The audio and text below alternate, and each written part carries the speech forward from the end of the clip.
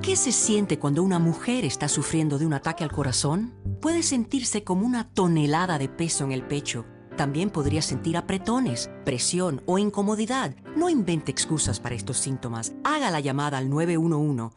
También podría sentir que le falta el aire, así que no invente una excusa. Haga la llamada. ¿Sabía que sentir náuseas también puede señalar que está sufriendo un ataque al corazón? Llame al 911. Sudar frío es otra señal. No ponga excusas como la menopausia. Haga la llamada. Sentir fatiga fuera de lo normal es otra señal. Llame al 911. Mareo o aturdimiento repentino también puede ser síntoma de un ataque al corazón. Llame al 911. Dolor en la espalda fuera de lo normal, en el cuello, la mandíbula, uno o ambos brazos o aún dolor en la parte alta del estómago son síntomas de un ataque al corazón. Haga la llamada al 911 inmediatamente. Para saber más, visita womenshealth.gov diagonal corazón saludable. Es hora de mostrar la otra cara de la moneda. Bajo esta administración se han perdido más de 85 mil niños. Sin filtros, sin agendas y con los valores que nos caracterizan a los hispanos. The Biden administration wants an open border. Voz News con la reconocida presentadora Karina Yapor, acompañada de un equipo de destacados periodistas y analistas políticos, económicos y sociales. Voz News de lunes a viernes a las 6:05 centro por The Star. Alzheimer's es un, un criminal. Se está robando un pedazo de tu, de tu ser. Me acuerdo a mi, mi abuelita en el hospital, ya no se acordaba muy bien de nosotros y cuando la fuimos a visitar, la gente de hispana o latinos eh, desarrollan Alzheimer a proporción de 1.5 más probable que la- el hombre blanco americano. Para más información, visite brightfocus.org. Los padres quieren que sus hijos crezcan saludables, felices y exitosos. Pero los niños a veces están expuestos a eventos traumáticos, como violencia, divorcio, negligencia y pobreza. El trauma puede llevar a problemas de comportamiento, dificultades en la escuela y problemas de salud. El hecho de estar al lado de sus hijos es una de las cosas más importantes que puedes hacer como padre. A veces se necesita ayuda extra. Aprende sobre los recursos gratuitos en children'sinstitute.org. Hola, ¿qué tal? Bienvenidos a Voz News. Qué bueno que nos acompaña en este 22 de mayo. Los saluda Karina Yapor. Vamos a los titulares. Tornados impactan un pequeño poblado de Iowa, dejando varios muertos, múltiples desaparecidos y destrucción a su paso. Además, los bodegueros en Nueva York están preocupados por el aumento de la delincuencia y la poca atención de las autoridades. Veremos qué medidas están tomando para protegerse. Y el gobierno de Biden perdona las deudas de otros 160 mil préstamos estudiantiles. Pero ¿a quiénes beneficia o perjudica esta medida? Escucharemos de nuestros analistas. Voz News inicia ahora.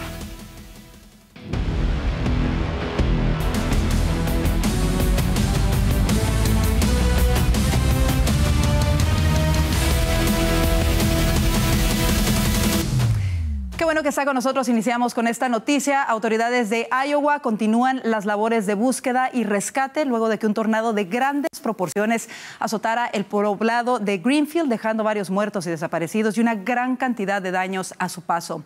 Oficiales del alguacil del condado Adams informaron que una mujer murió el martes luego de que su vehículo fuese lanzado fuera de la carretera por el tornado a unas tres millas al norte de Corning. La tormenta alcanzó partes de Illinois y Wisconsin, dejando decenas de miles sin electricidad.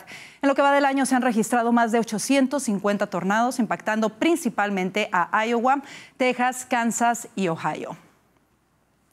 Y mire, a dos días del segundo aniversario de la masacre en la primaria Rob de Texas, los familiares de 19 víctimas anunciaron que demandarán a casi un centenar de oficiales de la policía que fueron parte de la cuestionada respuesta policial.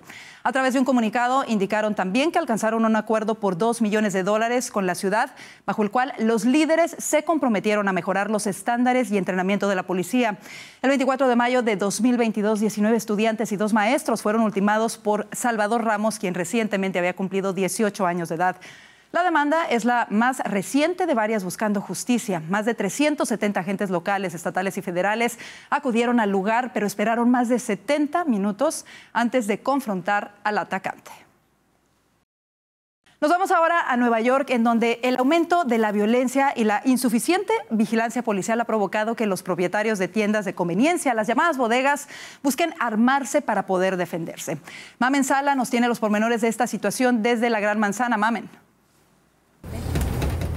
Radamés es propietario de tres negocios en Manhattan y líder del grupo de bodegueros de la ciudad. En su tienda roban al menos una vez al día a pesar de estas cámaras de videovigilancia. Ya mira, ya aquí nos han quitado los candados, Fíjate cómo ya vienen aquí quitando todo esto.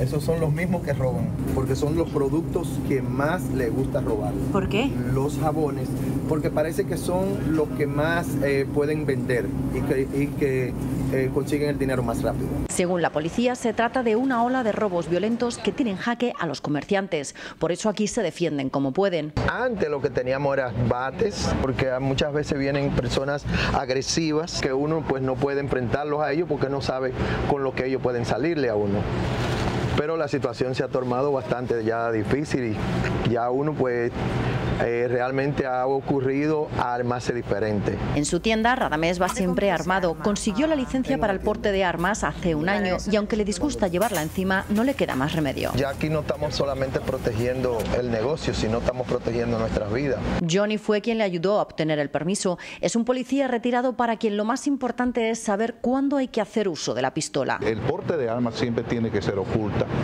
nunca sacar el arma, a menos que ya sea una situación inminente, que tu vida o la vida de un tercero pues esté en un inminente peligro. Robos como este se están repitiendo a diario en todo tipo de negocios. Personas que enseñan casa, de real estate, porque van a enseñar casa, eh, no conocen al cliente en realidad y, se han sentido amenazados mientras camina por el vecindario.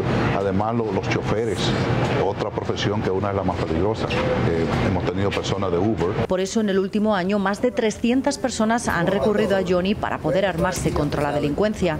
Los comerciantes se quejan de que la policía tarda mucho en llegar cuando los llaman y por eso prefieren aprender a defenderse a sí mismos. Un reclamo que coincide con una salida de varios agentes del cuerpo de la policía de Nueva York. Solo en los últimos cuatro meses, 566 agentes han renunciado a su puesto porque denuncian un exceso de trabajo. Desde Nueva York, Mamen Sala para Voz News. Gracias, Mamen. Vamos a otras cosas. La administración Biden anunció otra ronda masiva de condonaciones de deuda estudiantil por más de 7.700 millones de dólares destinados a liquidar la deuda de más de 160 mil prestatarios. Los beneficiados se dividen en tres categorías, personas que reciben la condonación de préstamos por servicio público, personas inscritas en el plan Saving y personas que reciben condonación del pago basado en los ingresos. Hasta el anuncio del día de hoy, la administración Biden ha liquidado 167 mil millones de dólares en en deudas de préstamos estudiantiles para unos 4.75 millones de estadounidenses. En junio de 2023, la Corte Suprema de Justicia dictaminó que el gobierno de Biden había excedido sus atribuciones con un plan para la cancelación de unos 400 mil millones de dólares en deuda estudiantil. Para hablar más sobre este tema se encuentran con nosotros Luis Montes Amaya, él es analista y estratega político demócrata, y Jaime Flores, analista político y director de comunicaciones para los hispanos del Partido Republicano. Gracias a ambos por estar con nosotros. Quiero empezar por lo básico. ¿Ustedes creen que esta decisión de la administración Biden de condonar más eh, miles de millones de dólares en deuda es buena? ¿A quién beneficia y a quién perjudica? Y comienzo contigo, Luis. Bueno, me parece que esta es una decisión eh, justa, eh, ¿verdad? Hay que reconocer que en los últimos 20 años eh, el costo de la educación de universidad ha, subido sustancialmente, alrededor del 60% se calcula, y esto es obviamente una carga con la que eh, muchos de, de, las personas, particularmente hispanos y afroamericanos que se están beneficiando de este programa, personas que eh, también han dedicado su tiempo al servicio público, ya sea a través eh, ¿verdad? De, trabajo para el gobierno directamente o para organizaciones sin fines de lucro. Entonces, esto es un, es un programa, es una inyección directa a la economía, a la economía local, a las comunidades locales, este es dinero que en lugar de ir de nuevo al gobierno federal va a ser eh, invertido y permite a las, a las familias, eh, ¿verdad? De estos graduados, de estos profesionales, esta gente que está, eh, ¿verdad? Parte de la, de la población económicamente activa, que básicamente permiten ahora poder hacer otras inversiones como compras de casa y otro que benefician directamente al, a la comunidad en las que viven. ¿Cómo, cómo lo ves tú, Jaime? Nosotros vemos de manera muy injusta, es decir, la educación ha aumentado en su costo tanto para quienes hicieron préstamos como para quienes no lo hicieron. Muchos se abstuvieron de hacer esos préstamos porque no sabían cómo los iban a pagar después. Muchos se abstuvieron de ir a la universidad simplemente porque era muy cara y no podían pagarla. No tiene ningún sentido que quienes sí se beneficiaron, quienes sí están hoy pues gozando de las ventajas de tener títulos universitarios, sobre todo en entidades eh, de, de, gran envergadura, que tienen acceso como resultado de haberse educado allí a mejores salarios, ahora quienes no se educaron, quienes no usaron los préstamos, tengan que terminar pagando los préstamos de estas personas que sí los recibieron. No nos digamos mentiras, esto no, eso no lo está pagando el gobierno, el gobierno lo está pagando con nuestros impuestos, Karina. Precisamente esa, esa es mi siguiente pregunta para ambos. ¿Cómo explicarle a una familia de clase media que no ha mandado a sus hijos a la universidad debido a los altos costos precisamente o han decidido tomar decisiones más medidas, como por ejemplo a lo mejor eh, ir trabajando, tomando clases poco a poco, como mucha gente de nuestra comunidad hace? ¿Cómo le explicas a ellos que ahora ellos van a pagar los préstamos de todos estos otros estudiantes que sí decidieron ir y tomar esta deuda, Luis? Es que eso, para eso es otro tema eh, y es, es, otra perspectiva de la que tenemos que hablar. Tenemos que hablar entonces ya del enfoque y del sistema educativo, eh, de, ¿verdad?, de, de, universidades en Estados Unidos. Y si, bien es cierto, eh, muchos estados, por ejemplo Nueva York, California, han, implementado programas para precisamente ayudar a ese tipo de familias de las que tú estás refiriéndote, Karina. Creo que esto es algo que debe de hacerse eh, a nivel nacional. Eh, debe de, de entenderse y debe darse la oportunidad a estas familias para que eh, precisamente puedan obtener. Muchas de estas personas son las primeras personas que han recibido su título universitario, eh, ¿verdad? Con mucho sacrificio y que ahora han pasado, básicamente, eh, han hecho un salto cualitativo en la vida de estas familias, muchas de ellas Mira. inmigrantes, eh, ¿verdad? Que vienen y que simplemente de la otra manera no pueden acceder a la universidad. Y justamente, sabes que sobre este tema a mí me ha tocado leer varios comentarios a través de las redes sociales, incluso algunos que ellos han pagado con mucho sacrificio su escuela y preguntan, entonces ahora nos van a dar un reembolso a nosotros y creo que es una pregunta válida de alguna manera. Ahora, muchos señalan que esto es simplemente un acto de campaña porque estamos eh, a meses de las elecciones presidenciales. ¿Qué creen ustedes al respecto? Me voy contigo, Jaime. No nos cabe la menor duda, no nos cabe la menor duda, porque además esto ya lo ha rechazado la Corte Suprema de Justicia y al presidente no le importó. Esto también lo ha rechazado el Congreso. El Congreso no aprobó una propuesta para condonar los préstamos estudiantiles y al presidente no le importó. Y ahora que se acercan las elecciones, pues seguramente condonarle deudas a una cantidad enorme de personas, pues ellos creen les va a traer algunos votos. Lo que no se dan cuenta es que eh, quienes tenemos que pagar esto, que somos el resto de los ciudadanos que nunca recibimos estos préstamos, nos vamos a ver afectados por la inflación, porque estos 7.700 millones de dólares que el presidente le está regalando a los más ricos, a los más beneficiados, a quienes sí tuvieron acceso a las universidades más caras, pues vamos a tener que pagarlos quienes no tenemos, nunca tuvimos ese acceso, nunca tuvimos esa oportunidad. Esto Ahora, va a aumentar la inflación y eso no lo hemos dicho nosotros, no lo estamos diciendo nosotros, lo dicen los expertos. Uno, antes de que se nos termine el tiempo, uno de los reclamos que muchas personas tienen es precisamente los altos costos de la educación profesional en los Estados Unidos. Se ha vuelto casi inalcanzable para la familia promedio, especialmente las hispanas. Eh, lo que muchos se preguntan es si acciones como estas no siguen abonando a que no disminuyan estas cuotas que son inalcanzables para muchos. Cerramos con esto, me voy contigo, Luis.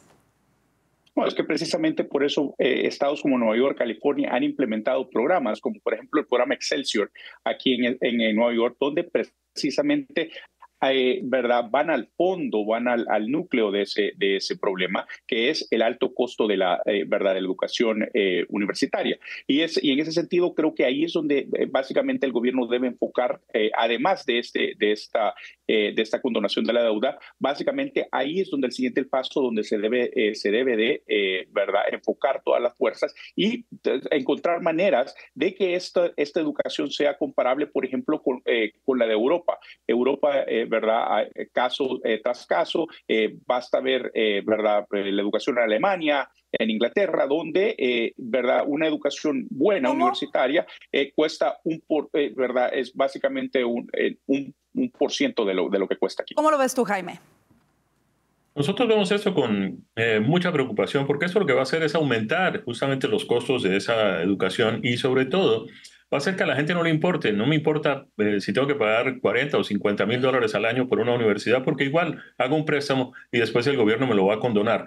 De manera que pues esto crea un precedente realmente muy peligroso. Va a dejar a las universidades con la oportunidad de seguir aumentando los precios, porque pues en la medida en que haya préstamos y la gente crea que no va a tener que pagarlos, pues todo el mundo va a creer que llegó el momento de la felicidad. Como siempre, Luis Montes, Amaya y Jaime Flores, un gusto escuchar sus interesantes puntos de vista sobre lo que nos impacta a todos. Gracias por estar con nosotros. Siempre un placer. Gracias. Felicidades a todos. Gracias. Y mire, los demócratas están intentando sacar adelante un proyecto de ley de seguridad fronteriza que ya fue rechazado en el Senado. Los republicanos han presentado sus argumentos en contra, pero el líder de la mayoría, Chuck Schumer, ha ignorado esto y volverá a someter el proyecto de ley esta semana. Vanessa Vallejo desde Washington, D.C. nos dice más, Vanessa. Karina, este jueves se va a presentar en el Senado un proyecto de ley de seguridad fronteriza que en realidad no es nuevo, es un proyecto que ya se había presentado a inicios de este año y que no logró aprobación en el Senado. Y por eso muchos se están preguntando por qué los demócratas están intentando volver a pasar este proyecto en el Senado, un proyecto que no solo no consiguió el apoyo necesario, sino que lo que logró fue un rotundo rechazo por parte de los republicanos. El senador Chuck Schumer, el líder de la mayoría demócrata en el Senado, ha dicho que si los republicanos de verdad quisieran solucionar la crisis en la frontera, apoyarían este proyecto de ley. Escuchemos algunas declaraciones del senador Schumer. The question is, do Republicans want to improve the situation on the border or not? Maybe they're happy with the way things are. They're happy with chaos. They're happy with trafficking and smuggling. They're happy with fentanyl and the deadly flow of drugs coming through our ports. They're happy with the misery. I hope not. I sincerely hope our colleagues are ready to join us. Of course, we don't expect every Democrat or every Republican to come out in favor of this bill. It's bipartisan. By definition, it's a compromise. Mientras tanto, los republicanos han dicho que lo que están haciendo los demócratas es a tan solo unos meses de las elecciones utilizar esta votación y este proyecto de ley que, como digo, ya se hundió en el Senado a principios de este año para echarle la culpa a los republicanos de las medidas de la actual administración Biden y decirle a los americanos que es por culpa de los republicanos que no votaron por este proyecto de ley que la crisis fronteriza está en esta situación tan desbordada. Escuchemos las declaraciones del senador John Barrazo sobre este asunto. Democrats are desperately trying to deflect the blame for the damage that's been caused to our country as a result of our wide open southern border. People all across the country know that it's the Democrats' fault for bringing in the drugs, the death, the destruction that comes from our southern border. When Joe Biden took that first step into the White House as president, our southern border was secure. He threw open the border along with the Democrats, and 10 million illegal immigrants invaded our country. Y es que desde que este proyecto salió a la luz a principios de este año, los republicanos han dado diferentes argumentos para votar en contra. Han dicho que dar más recursos a la frontera lo que hace es normalizar esta situación de crisis, que lo que se necesita es frenar el flujo de migrantes y no pedir más recursos para hacer normal este eh, flujo tan descontrolado de inmigrantes. También han dicho los republicanos que si el presidente Biden de verdad quisiera frenar la crisis migratoria, él tiene la autoridad para hacerlo. Y han resaltado particularmente que el expresidente Donald Trump nunca necesitó sacar adelante algún proyecto de ley en el Congreso porque el presidente tiene la autoridad para realizar diferentes medidas al respecto. De hecho, han enfatizado en que el presidente Biden no solo no ha utilizado su autoridad, sino que desde que llegó a la Casa Blanca ha echado para atrás varias de las medidas que había impuesto el presidente Donald Trump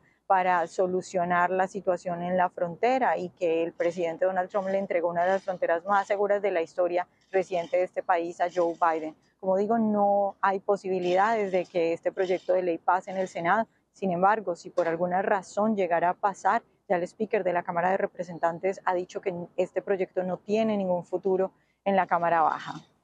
Gracias, Vanessa, por este reporte. Vamos a otras cosas. Y es que la sede del Comité Nacional Republicano en Washington, D.C. tuvo que ser evacuada después del envío de un paquete sin remitente que contenía muestras de sangre. Según la policía del Capitolio, el personal de seguridad de la sede abrió el paquete y en su interior encontraron los contenedores de sangre. Hasta el lugar se desplazaron las autoridades para inspeccionar el contenido y comenzar con la investigación que continúa. Y la fiscal de distrito del condado Fulton, Fanny Willis, y el juez de Georgia, que lleva el caso de interferencia electoral en contra del expresidente Trump, se impusieron en las primarias demócratas para su reelección. En el caso de Willis, quien es la fiscal distrital que acusó a Donald Trump de conspiración por interferencia electoral en Georgia, se impuso en las primarias sobre su rival, el abogado progresista Christian Smith. Ahora Willis se enfrentará a la republicana Courtney Kramer, cercana a Trump, quien se postula para ser la fiscal distrital del condado Fulton en las elecciones generales del 5 de noviembre.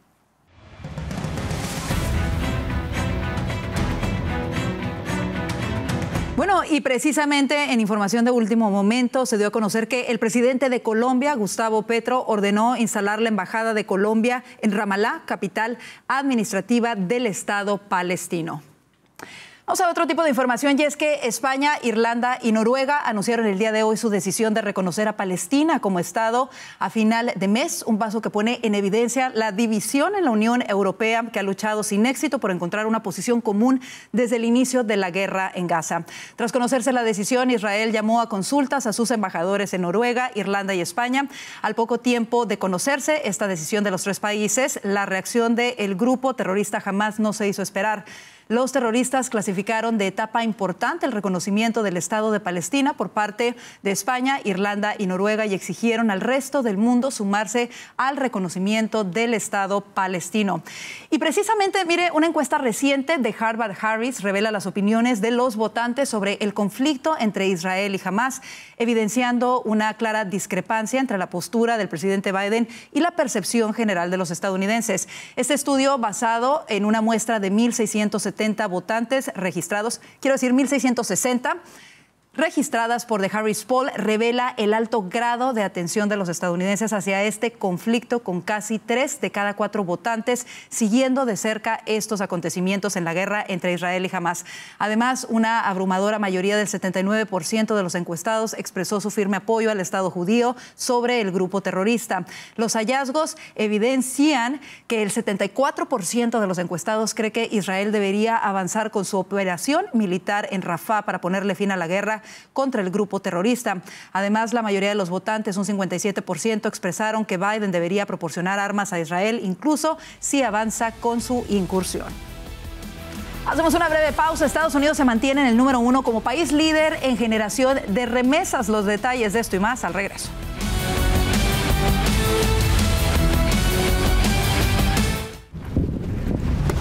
Oirán de guerras y de rumores de guerras naciones contra naciones, reinos contra reinos, de hambre, destrucción, dolor. Pero no teman, nuestro rey ha vencido al mundo. Y Samaritan Spurs marcha en el nombre de Jesús.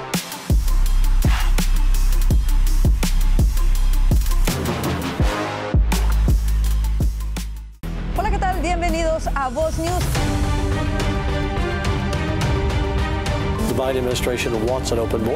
Darnos cuenta de que el enemigo es común. Con esta administración se han perdido más de 85 mil niños. La inmigración indocumentada continúa sin control en la frontera sur. La frontera sur sigue completamente colapsada. Lo que primero hace falta es un presidente que quiera asegurar la frontera.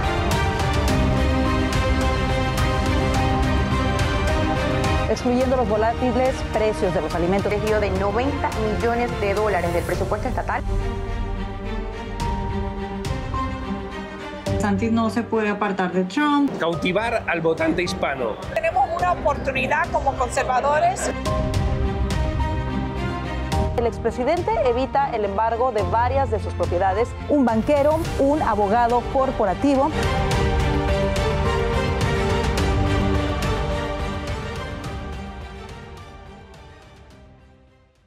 Padres quieren que sus hijos crezcan saludables, felices y exitosos, pero los niños a veces están expuestos a eventos traumáticos, como violencia, divorcio, negligencia y pobreza. El trauma puede llevar a problemas de comportamiento, dificultades en la escuela y problemas de salud. El hecho de estar al lado de sus hijos es una de las cosas más importantes que puedes hacer como padre. A veces se necesita ayuda extra. Aprende sobre los recursos gratuitos en children'sinstitute.org.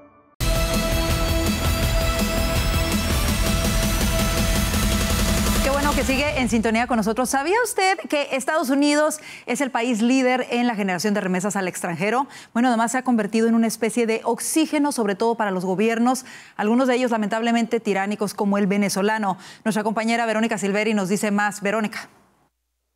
Así es, Karina, un informe de la Organización Internacional para las Migraciones, una institución asociada a Naciones Unidas, reveló que Estados Unidos continúa siendo el país líder en envío de remesas al extranjero. En 2022, los últimos datos publicados, los trabajadores destinaron a sus familias o allegados que viven en sus países de origen o en otros territorios un total de 79,15 millones de dólares, más del doble de la cantidad emitida desde Arabia Saudí, segunda nación de la lista. Pero no solo es destacable que el país fuese el primero en el ranking de 2022, lo lleva haciendo desde 2010 y el envío de remesas mantiene una tendencia al alza desde entonces. En aquel año se destinaron 50,53 millones de dólares al extranjero. El hecho de que Estados Unidos sea el país líder en emisión de remesas al extranjero se debe en gran parte a las oportunidades laborales y salarios que se ofrecen. Por detrás de Estados Unidos se ubicó Arabia Saudí. Desde entonces se emitieron al extranjero 39,35 millones de dólares, menos de la mitad que desde Estados Unidos. El podio lo completó Suiza, desde donde se enviaron 31,91 millones de dólares en el año 2022. Pero el listado también revela los países que reciben más remesas. En primera posición volvió a ubicarse India con 111,22 millones de dólares, país que lidera el ranking desde el año 2010. El cambio se produce en el segundo puesto, al que asciende desde la tercera posición en México con 61,10 millones y desciende China, 51 millones de dólares, país que en 2022 se situó en tercer lugar. La lista de las 10 naciones que más remesas recibieron la completaron Filipinas, Francia, Pakistán, Egipto, Bangladesh, Nigeria, Alemania, entre otros. Con esta información volvemos a los estudios. Gracias, Verónica. Vamos a otras cosas. El Senado votó para anular una serie de regulaciones de la administración Biden sobre las estufas de gas. Esta votación fue impulsada por el senador Ted Cruz, acompañada por todos los republicanos, pero también por algunos demócratas, entre ellos Joe Manchin, Bob Casey Jr., Sherrod Brown y Kristen Sinema. Y es que se trata de una resolución que era retroceder los estándares en eficiencia recientemente aprobados por el Departamento de Energía, los cuales tienen el objetivo de ahorrar dinero a los consumidores y reducir las emisiones de gases de efecto invernadero. Tanto Cruz como Manchin vienen insistiendo hace más de un año con que esta iniciativa en realidad obligaría a los consumidores a adoptar aparatos más caros, subiendo así los costos de energía en el hogar.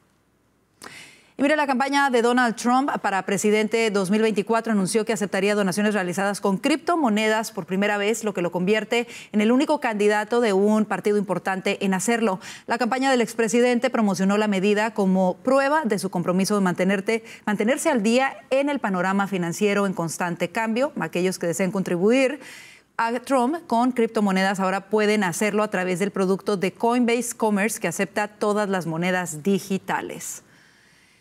El Departamento de Justicia demandó oficialmente a Oklahoma por una ley migratoria que entrará en vigor en julio. La cartera liderada por Merrick Garland busca impugnar la legislación HB 4156 que es contraria a la Constitución e ignora el precedente establecido por la Corte Suprema. Kevin Stitt, gobernador del estado, respondió y atacó a la administración Biden por provocar una crisis fronteriza.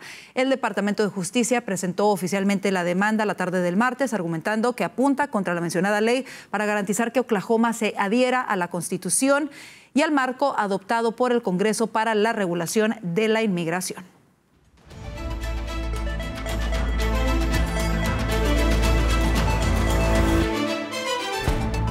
Se acerca la fecha de las elecciones en México y la campaña electoral se hace más álgida, pero ¿qué tan importante es la capital del país en estas votaciones? Bueno, veamos en el siguiente reporte qué papel juega la zona popular y poblada de Iztapalapa en Ciudad de México. La izquierda ha gobernado la capital desde 1997, cuando el jefe de gobierno capitalino se empezó a elegir por voto popular. Pero en esta ocasión las encuestas prevén una carrera cerrada con la oposición el 2 de junio, cuando también se elegirá al nuevo presidente de México. Clara Brugada es la candidata del oficialista Morena, del mandatario Andrés Manuel López Obrador. Brugada apela a los proyectos sociales que desarrolló durante tres periodos al mando del distrito más poblado de la ciudad, con un millón y medio de habitantes. El primer día voy a atender muy bien el tema de seguridad, voy a instalar el gabinete de seguridad, voy a instalar el Consejo de Seguridad de la ciudad, voy a reunirme con víctimas y el tema del agua. Son mis dos temas prioritarios. Iztapalapa significa en náhuatl sobre la losa en el agua, una paradoja cuando cerca de un cuarto de la población sufre por escasez del recurso hídrico de manera sistemática, según expertos. El abanderado de la oposición, Santiago Taboada, ha prometido mejorar los servicios públicos. Estoy aquí para hacer un compromiso de inmediato, para lograr dar servicios de agua potable, escrituración, electrificación en los primeros 100 días de mi gobierno a la maguellera, a degollado. Según analistas, Ciudad de México se ha convertido en uno de los escenarios más importantes de la disputa electoral.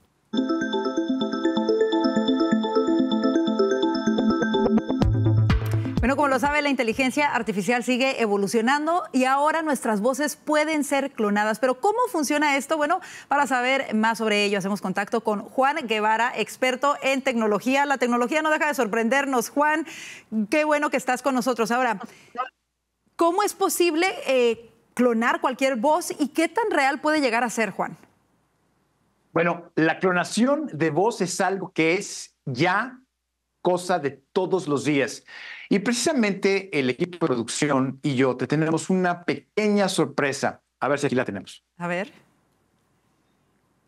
la voz clonada de Karina Yapor. Y estas son las noticias para el 30 de febrero del 2025. En ataque masivo, los extraterrestres invadieron el planeta Júpiter. Estaremos enlazándonos en vivo con nuestro experto en tecnología, Juan Guevara.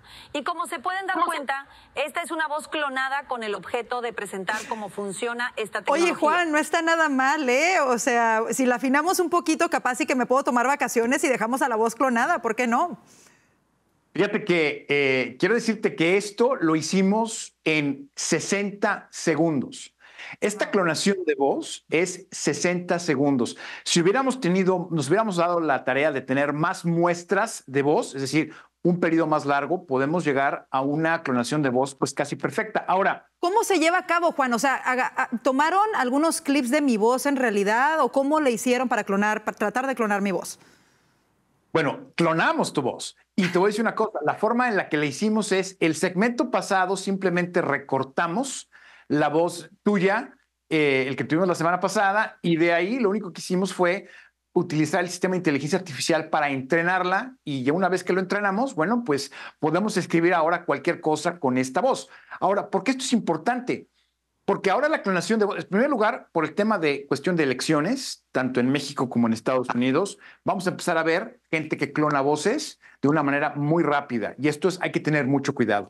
Número dos, hemos visto el tema de extorsión, de llamadas que le llaman a las personas y les dicen, oye, tengo a tu hijo o a tu hija o a un pariente tuyo, y esas llamadas que hacen de pedir auxilio porque tienen un problema, todo esto se puede hacer de una manera muy sencilla. Entonces, es importante que la audiencia sepa que la clonación de voz es algo de hoy y hay que estar pendientes, ¿no? Qué miedo, de verdad, Juan. O sea, es increíble cómo los avances tecnológicos nos pueden ayudar en muchas formas, pero que también se pueden utilizar o pueden ser utilizados por los malos, como en este caso los extorsionadores. Ahora, em, hay casos conocidos, hemos escuchado ya incluso, ¿no? Por ahí hay una demanda también de personajes conocidos porque su voz ha sido clonada. Bueno, déjame decirte algo. Eh, OpenAI tiene un problema con Scarlett Johansson, específicamente. ¿Por qué?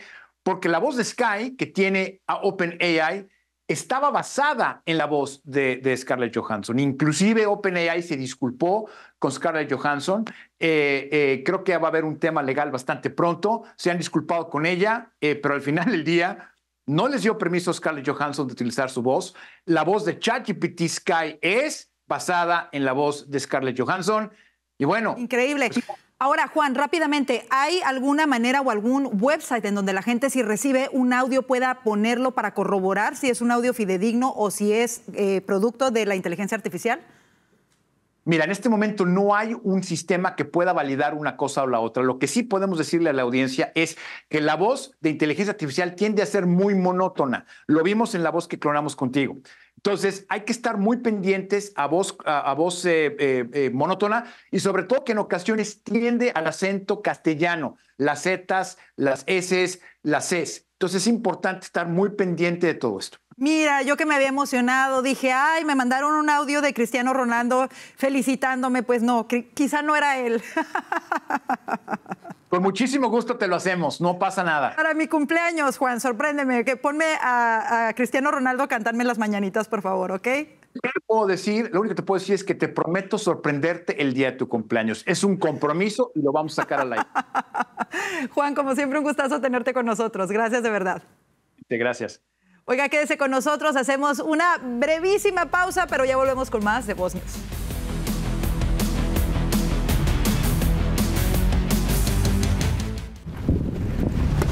Oirán de guerras y de rumores de guerras, naciones contra naciones, reinos contra reinos, de hambre, destrucción, dolor. Pero no teman, nuestro rey ha vencido al mundo y Samaritan Spurs marcha en el nombre de Jesús.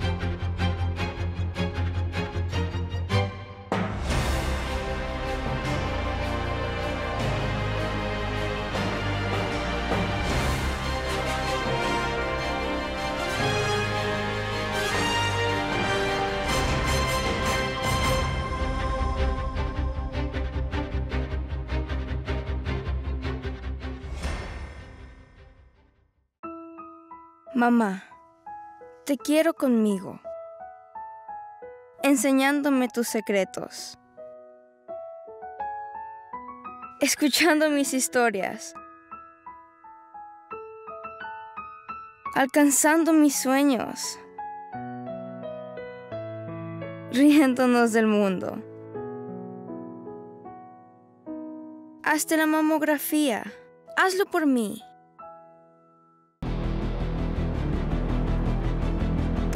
El día de ayer, nuestra invitada Bianca Rodríguez comentaba sobre la visita de funcionarios cubanos al aeropuerto de Miami, lo que fue noticia en varios medios de comunicación, por la incongruencia de recibir a miembros de un Estado que está en la lista de patrocinadores de terrorismo de los Estados Unidos. Hoy el representante Carlos Jiménez ha pedido una investigación a los responsables de esta visita, calificándola como una decisión irresponsable. Para hablar de este importante tema, le damos la bienvenida a nuestros analistas. Hoy nos acompañan Vanessa Vallejo, analista de Voz News, Orlando Avendaño, periodista y analista político de Voz News, y Manuel Aguilera, analista político y director de noticias de Canela News. Bienvenidos, gracias por estar con nosotros. Y bueno, la relación de esta administración, de la administración Biden con Cuba es poco clara, parece mantenerse al margen, a veces por el rechazo que hay al régimen castrista, pero pareciera que hay cada vez más un acercamiento. ¿Qué les parece? Y comienzo contigo, Vanessa. Pues me parece muy grave que el Departamento de Seguridad Nacional esté permitiendo este tipo de cosas, además eh, sin la autorización o incluso sin el conocimiento de las autoridades locales, según eso es lo que han dicho.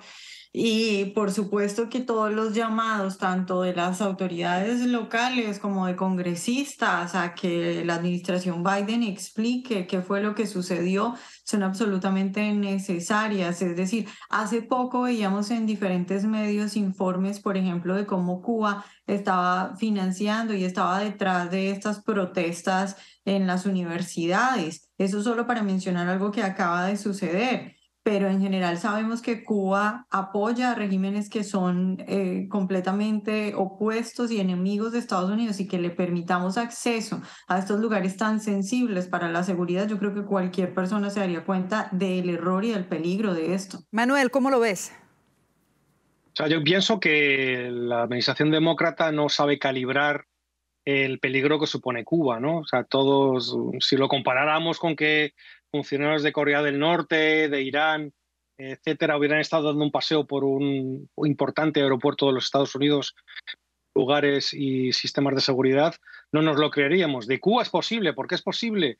Porque a pesar de que ha estado hasta hace nada en la lista de países terroristas y es un enemigo declarado de los Estados Unidos, desde cierto eh, sector del Partido de Muerta no se toma esto en serio y no hay más que echar un vistazo a la historia para ver que Cuba es un país que tiene infiltración en los Estados Unidos, aquí en Miami, infiltración terrorista, ha habido espías, ha habido espionaje, ha habido muchos hechos lamentables durante estos últimos 60 eh, años, que está el régimen, más de 60 años ya el régimen comunista en La Habana, y yo creo que deberían tomárselo en serio y ha sido esa especie de frivolidad la que ha permitido que, que ocurrieran esos, esos hechos en el aeropuerto de Miami. Orlando, ¿cómo lo ves tú? Mira, Karina, por dos razones pudo haber ocurrido esto que es muy grave. Una es por descuido, y si es por descuido, es muy preocupante y deberían rodar cabezas dentro de la TSA. Y la segunda razón es por un acuerdo de cooperación voluntario con el régimen eh, cubano, ¿no? Y completamente intencional. Y esto es aún más grave porque no solamente podría implicar que el Partido Demócrata no se tome en serio a Cuba, sino que el Partido Demócrata no solamente no ve a Cuba como una amenaza, como lo es, no solamente porque Cuba es un estado hostil, sino porque Cuba funciona como un enclave de otros estados hostiles, verbigracia, Irán, China, Rusia, la misma Venezuela, en Nicaragua, etcétera, sino además porque esto, esto eh, podría implicar que consideran a Cuba un potencial aliado en acuerdos de cooperación y seguridad. Esto es muy peligroso y pone en riesgo la seguridad nacional de Estados Unidos. Y definitivamente tengo que decirles a mí, eh, en lo particular, eh, no, al escuchar sobre esta noticia, yo no pude dejar de pensar, por ejemplo, en los cientos de cubanos que tuvieron que dejar la isla, que que dejaron de ver a sus seres queridos y jamás volvieron a darles un abrazo, lo que ellos representa esta visita, ¿no? Y que se dé de esta manera, creo que, definitivamente es algo eh, doloroso para muchos de ellos y que es inexplicable de alguna manera de esta administración. Pero vamos al segundo tema porque es bastante importante y es que documentos judiciales revelados este martes muestran que el Departamento de Justicia autorizó el uso de fuerza letal durante la redada del FBI en agosto de 2022 en Mar-a-Lago, Florida, para buscar los documentos clasificados en posesión del expresidente Trump. Según esta orden de operaciones, los agentes del FBI tenían la misión de confiscar la información clasificada. Para que los agentes cumplieran con esta labor, la orden contenía una declaración de política sobre el uso de fuerza letal que decía, entre otras autorizaciones, que los agentes del orden del Departamento de Justicia podían utilizar la fuerza letal cuando fuese necesario. Vanessa, este uso de la fuerza iba directo contra todo aquel que se opusiera en la redada en la casa del expresidente. ¿Cómo lo ven ustedes? Creo que hay que esperar aún más las declaraciones en general del FBI que expliquen a qué, se, a qué hacían referencia todas estas cosas. Ahora, aquí hay que dejar claro algo que debiera ser obvio. Estamos hablando de un expresidente.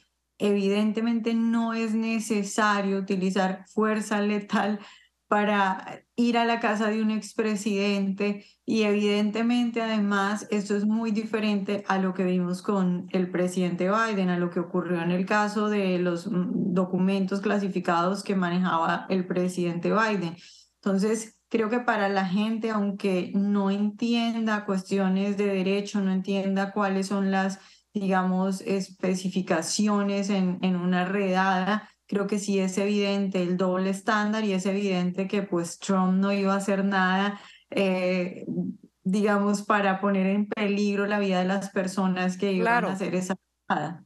Sí, a mí lo que me llama la atención es no sé qué estaban esperando encontrar como para tener que puntualizar que podían hacer uso de la fuerza eh, letal, Orlando. Claro, es que ese es el punto. El FBI sabía que no iba a tener que utilizar la fuerza letal. No obstante, ¿por qué dan la orden? ¿Por qué eh, la instrucción? Porque sabían que esto eventualmente se iba a saber. Y para mí, el propósito era únicamente mediático. Era dejar claro que eh, la Casa Blanca, que el FBI, que la seguridad ve a Trump como una amenaza, quieren humillarlo, eh, dicen que, mira, tenemos la capacidad incluso de eh, matar a cualquiera de tus seguridades, a cualquiera de tus staffers en Maralago, no significas nada contra nosotros. El punto es intimidar, amedrentar. Ellos no iban a utilizar la fuerza letal pero querían enviar este mensaje. Manuel, cerramos contigo eh, tu punto de vista sobre este tema antes de ir al corte comercial. Bueno, la justicia debe ser proporcional, lo han dicho mis compañeros. O sea, yo creo que no tiene ningún sentido que se entre en la casa de un expresidente de los Estados Unidos buscando al fin y al cabo unos documentos, no buscando una bomba y unas armas, estaba buscando unos documentos que al final estaban en el entorno donde se guardan documentos en oficinas, despachos, cajones. Se, registraron zonas de la casa que no tenían ningún sentido que se registraran y se hizo con publicidad de esta manera. Realmente, eh, si como dice Orlando, lo hacían para que se supiera, creo que al final de la historia, quien puede utilizar ese conocimiento de que se obró así es Donald Trump. Ahora puede poner sobre la mesa de que se le está persiguiendo y que se le ha tratado de una manera en la que no se debe tratar a nadie, pero menos a un expresidente de los Estados Unidos, porque se tenga una sospecha de haber, eh, digamos, movido unos documentos que pudieran ser sensibles o clasificados. Definitivamente algo que llama muchísimo la atención. Hacemos una breve pausa, no se mueva de su asiento, ya volvemos con más de Voz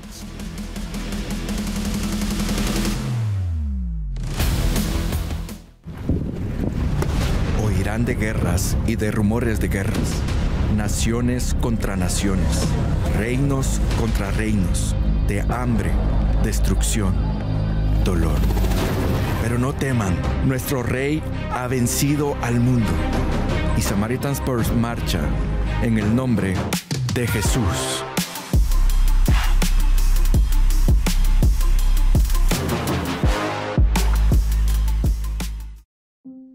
Alzheimer's es un, criminal. Se está robando un pedazo de tu, de tu ser. Me acuerdo a mi, mi abuelita en el hospital, ya no se acordaba muy bien de nosotros y cuando la fuimos a visitar, la gente de hispana o latinos eh, desarrollan Alzheimer a proporción de 1.5 más probable que el hombre blanco americano. Para más información, visite brightfocus.org. Es hora de mostrar la otra cara de la moneda. Bajo esta administración se han perdido más de 85 mil niños. Sin filtros, sin agendas y con los valores que nos caracterizan a los hispanos. The Biden administration wants an open border. Voz News con la reconocida presentadora Karina Yapor, acompañada de un equipo de destacados periodistas y analistas políticos, económicos y sociales. Voz News de lunes a viernes a las 6:05 centro por The Star.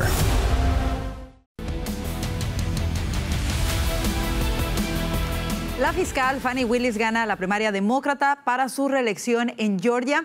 Vamos a regresar con nuestros analistas para hablar de esto. Y es que el margen fue bastante grande. ¿Les sorprende el abrumador apoyo de los votantes demócratas a la fiscal que persigue al expresidente Trump? Me voy contigo, Vanessa. Pues a mí me causa mucha tristeza que los votantes demócratas estén cayendo en este juego de poner en peligro las instituciones, la democracia, sobre todo el sistema judicial de un país con tal de lograr su cometido de sacar a Donald Trump como sea de las cosas más vergonzosas que hemos visto durante lo que va de este año en, en, cuestiones de política y judiciales a esta fiscal mintiendo en una corte diciendo, por ejemplo, que su empleado al que contrató, en el caso contra Donald Trump, eh, que le pagaba los viajes a ella con el dinero eh, de los contribuyentes, que ella le devolvía el dinero en efectivo, pero que ella no tenía cómo probar que esos miles de dólares se los había pasado en efectivo. ¿Cómo es posible eh, que la gente siga votando por una persona que pone de nuevo, como dije antes, en riesgo eh, la justicia de un país y que es capaz de mentir de esta manera. Orlando, ¿cómo lo ves? Mira, de acuerdo. Yo creo que esto habla de la deriva del Partido Demócrata. Claramente hay una parte del Partido Demócrata que está muy contento con lo que es evidente una persecución judicial, por más expuesta que quede, por más eh, obsoleta que se vea, como por ejemplo el caso de Fanny Willis y todo el escándalo muy vergonzoso con eh, Nathan Way y la forma en la que trató de llevar esta acusación contra el expresidente, eso pues tiene sus méritos para el votante demócrata. Y, por eso es que hoy vemos con tanta preocupación la deriva en la que se encuentra el Partido Demócrata secuestrado por un ala de extrema izquierda muy perjudicial que ha llevado también a la Casa Blanca a tomar unas posturas eh, muy controvertidas sobre políticas en las que históricamente el Partido Demócrata ha sido bastante moderado. Manuel, ¿cómo lo ves? Mira, el caso de Donald Trump y en otros casos de, de enjuiciamiento a políticos, lo que pone de manifiesto para mí y pone en duda un poco el sistema de elección de los fiscales en Estados Unidos. Yo la verdad es que no me siento nada cómodo con que un fiscal demócrata se enfrente a un fiscal republicano. El fiscal lo que tiene que hacer es velar por la justicia. Y en este caso lo estamos viendo, porque realmente si las medallas que se pone esta fiscal eh, es haber perseguido a Trump, no me parecen los méritos suficientes y relevantes para un ciudadano del condado de Fulton o, de Atlanta. Yo creo que eh, este condado y esta ciudad tiene problemas mucho más del día a día, como son la tensión racial, como es la delincuencia, como son las bandas. Hay, muchos temas que están en el día a día de los ciudadanos de este condado que han pasado a un segundo plano porque esta señora se ha hecho famosa por, seguir a, por perseguir a Donald Trump y, y de esa manera la premian muchos votantes demócratas. o sea que... yo creo que este caso sirve para poner en cuestión el modelo de elección, ¿no? Yo coincido contigo, me parece ese punto demasiado importante, ¿no? Eh, finalmente los fiscales están encargados de perseguir la justicia eh, y, y, me parece, a mí también me llama la atención este método de elección, creo que has dado en un punto sumamente importante. Finalmente, para terminar con este tema y antes de ir al siguiente, ¿creen que la contrincante, en este caso republicana, tenga oportunidad de ganar en noviembre? No, lastimosamente no. Sí, no, honestamente no, tampoco creo. Bueno, vámonos ahora a este segundo tema que es bastante importante también, y es que una encuesta de Harvard demuestra el apoyo del electorado estadounidense a Israel en su guerra contra Hamas. ¿Qué les llama la atención de esta encuesta? Y me voy contigo, Vanessa. Bueno, pues yo creo que el presidente Biden debería estar claro um, de que no puede manejar un país de acuerdo a lo que le digan unas minorías extremas y completamente envenenadas por ideologías que tienen una, un, un solo objetivo claro. Que, que en este caso en particular, eh, el objetivo de esas ideologías extremas que están tomándose la Casa Blanca es aniquilar por completo el Estado de Israel. Entonces es bueno que este tipo de datos salgan a la luz y que el presidente Biden eh, vea esto, que la administración, como digo, deje de llevarse, de dejarse llevar por esos grupos extremos. Ahora, a mí me llama la atención, obviamente, los resultados de, de esta encuesta en contraste con las manifestaciones antisemitas que hemos visto a lo largo y ancho del país, Orlando. Justamente, vimos a las universidades completamente doblegadas ante un puñado de estudiantes y no estudiantes, militantes foráneos, eh, que agitaban a favor de un grupo terrorista. Vimos cómo Joe Biden empezó a diseñar, pese a que en octubre del año pasado había mostrado un apoyo contundente a Israel, empezó a diseñar una política exterior contraria a los intereses de los americanos simplemente por las pretensiones de un puñado lo bueno de esta encuesta es que ratifica que se trata de un puñado y que la mayoría de los americanos son sensatos y entienden muy bien qué, tan importante es Israel como aliado y entienden muy bien quiénes son los malos de esta película. Manuel. Eh, no sé si se, recordáis aquello que se decía hace años de la opinión pública y la opinión publicada, ¿no? Yo creo que esto viene viene a demostrar que una cosa es lo que se dice en redes sociales y lo que se ve en esas manifestaciones estudiantiles y otra cosa es lo que de verdad piensa la mayoría de la gente. Entonces yo creo que mm, pensando en hacia dónde tiene que gobernar, en este caso Joe Biden, el presidente de los Estados Unidos, o el que sea a partir de noviembre, tiene que mm, digamos que tomar sus decisiones en base a todo a la mayoría de los estadounidenses y no a una minoría que se represente en, las redes sociales o en estas manifestaciones. Vanessa, ¿estás de acuerdo con esto?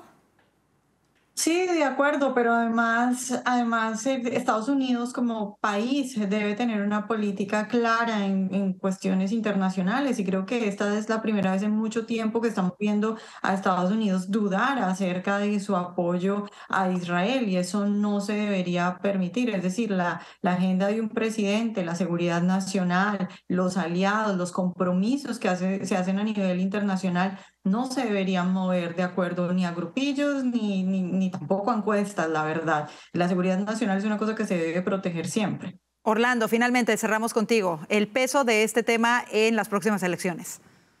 Yo creo que va a ser significativo. Yo creo que Biden ha cometido un error gigante al tratar de satisfacer a todo el mundo.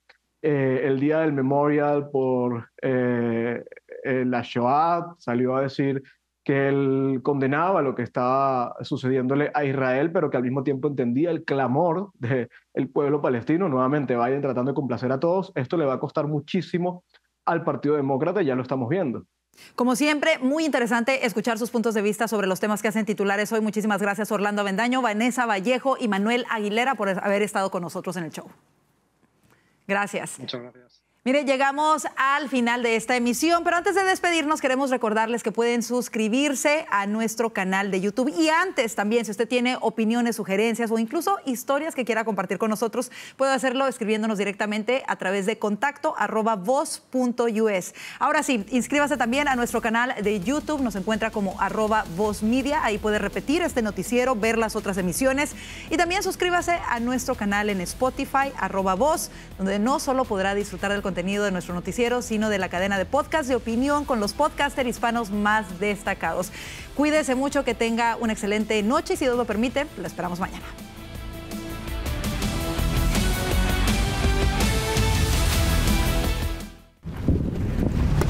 Oirán de guerras y de rumores de guerras, naciones contra naciones, reinos contra reinos, de hambre, destrucción, dolor. Pero no teman, nuestro rey ha vencido al mundo. Y Samaritan Spurs marcha en el nombre de Jesús.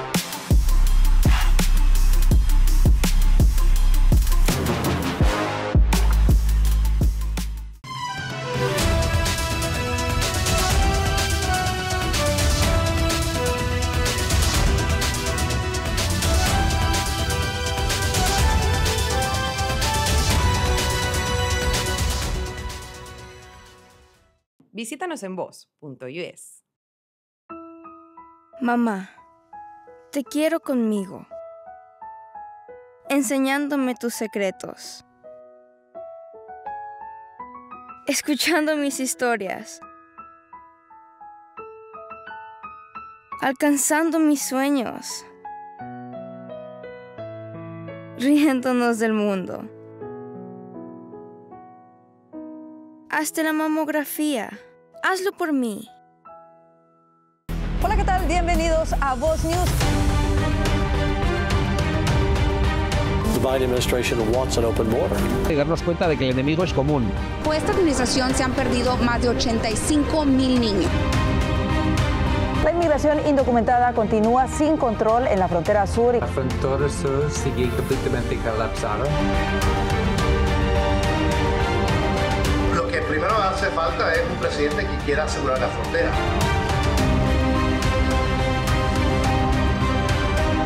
Excluyendo los volátiles precios de los alimentos. Desvío de 90 millones de dólares del presupuesto estatal. Santis no se puede apartar de Trump. Cautivar al votante hispano. Tenemos una oportunidad como conservadores. El expresidente evita el embargo de varias de sus propiedades, un banquero, un abogado corporativo.